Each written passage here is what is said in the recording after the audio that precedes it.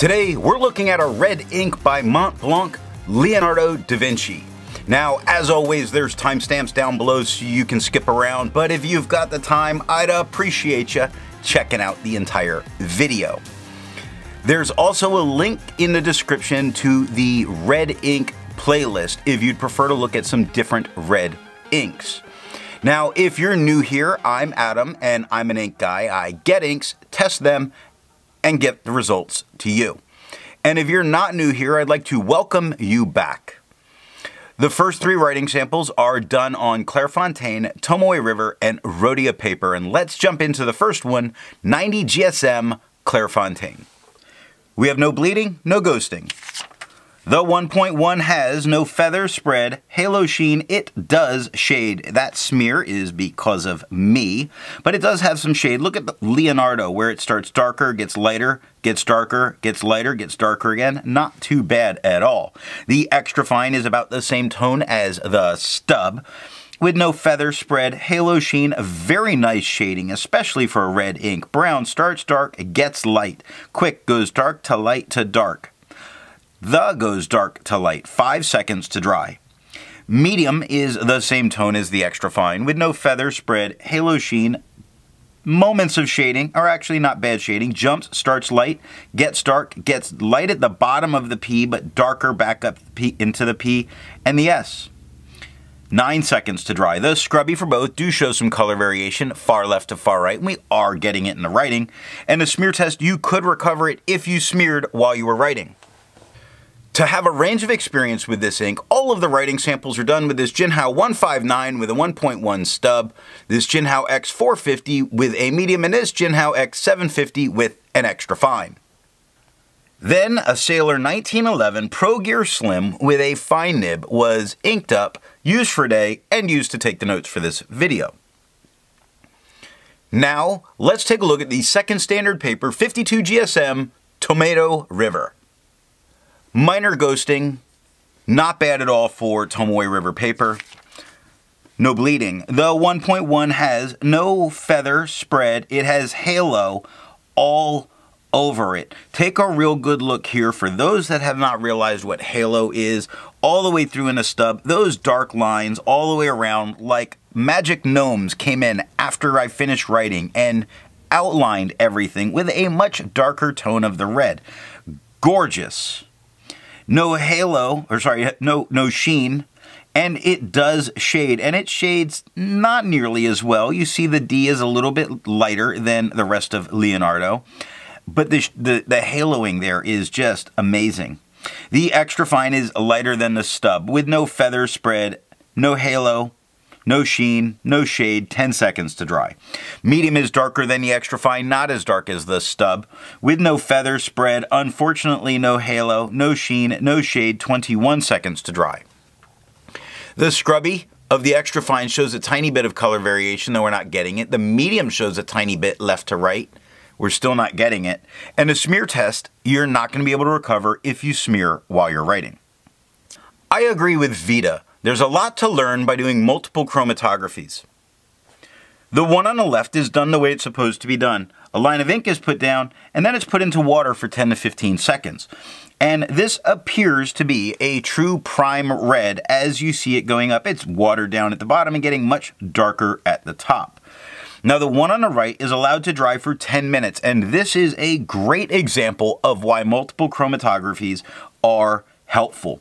It appears very much the same, but look at the very top dark red line and you're going to see spots of turquoise showing up. You do see a little bit of separation of that turquoise right there, which that's what's giving this red its great shading. Amazing. Now, I'm not expecting any resistance from this ink based on that chromatography, but it performs so well. The last standard paper is 80 GSM Rhodia dot pad. We have no bleeding, no ghosting. The 1.1 has no feather spread halo sheen, no shade. The extra fine is quite a bit lighter than the stub with no feather spread halo sheen. It does have shading. Look at quick, starts darker, gets lighter, gets darker. Brown goes from dark to light. Dog goes from dark to light. Six seconds to dry. Medium is much darker than the extra fine, just a tad lighter than the stub. With no feather spread, halo sheen, no shading, 10 seconds to dry. Scrubby of the extra fine shows us color variation, which we get. The medium shows none, and we got none. The smear test, there's a maybe on recovering if you smeared while you were writing. Resistance tests are done to see how this ink can be expected to perform on a page, and more importantly, how hard it may be to clean from your pen. This smear is allowed to dry for three days before testing it. Looking at the highlighter, it's performing fairly well. There's a blowout going on in the lowercase h. That's probably why I would not use it in a note-taking situation. I just uh, am in fear that the tiny bit I do lose might be the most important part. It did incredibly well considering how it looks in water, which is completely reactivating and lifting it off the paper. We're seeing the white of the paper come through. Pen Flush does everything that water does and nothing more, but it only took water to get it out of my pen. One third bleach solution is completely removing it from the paper, but there's going to be no need to use that to get it out of your pen. For the next writing samples, the paper is changed up quite regularly just to have a bunch of different experiences. And this next paper is TWSBI notebook paper. We have no bleeding, no ghosting. The 1.1 has no feather spread, halo sheen, or shade. The extra fine is a bit lighter than the stub, with no feather spread, halo sheen, some shading spots like the RO of brown is lighter than the rest.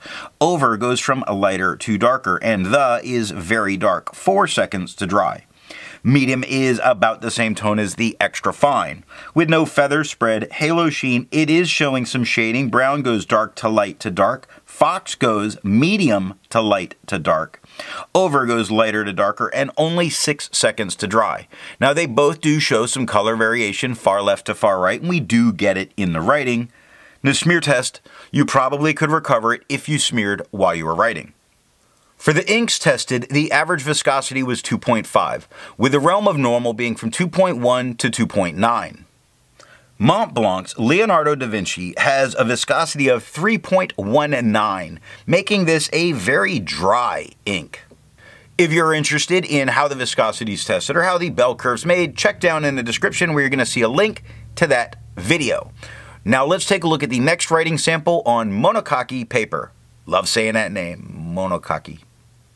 The only thing that appears to even be close to a bleed spot is at the scrubby, which is not a big deal, and we have no ghosting. The 1.1 has no feather spread, halo sheen, or shade.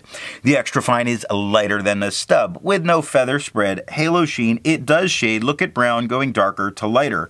Quick goes dark to light to dark. Five seconds to dry.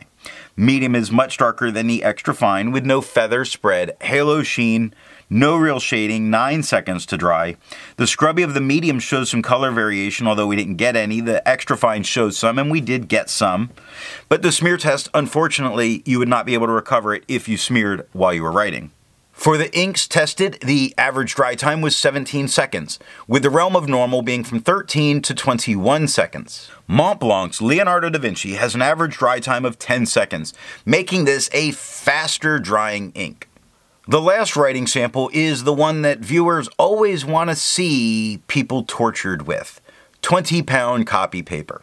Let's just start out with the idea of does it bleed? Yes, it does. Is it ghosting? Yes, it is. It's feathering through its bleeding and ghosting. However, it did not touch the page underneath, which is in itself good news. The medium it's feathering all over it. It's tiny, but it's all there. It does spread to about a broad. It has no halo sheen, no shade.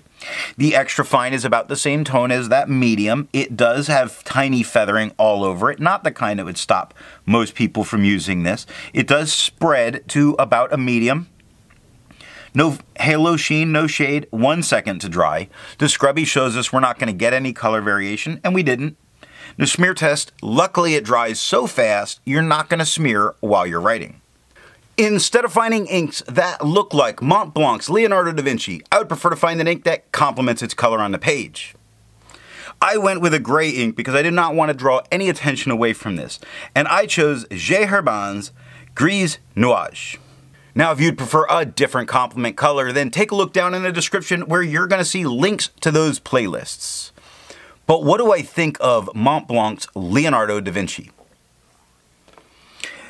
There is a showing of the same nice shade and slightest brown lean that I'm enjoying. I think this might be a win because I don't normally like reds or Montblanc's, you know, limited run or specialty inks. Despite that, I enjoy this, although it is largely unobtainium. Unobtainium. Unobtainable? Unobtainium. Hard to find. So what nib and pen will give the best writing experience with this ink? I really prefer it in a dry fine to get a nice tone and great shading. Plus, that will have the added benefit of letting this very hard to get a hold of ink last longer. I hope you got something out of this review, and tomorrow we're going to take a look at Blue Snowball Nebula Twinkle. I think I have that all right.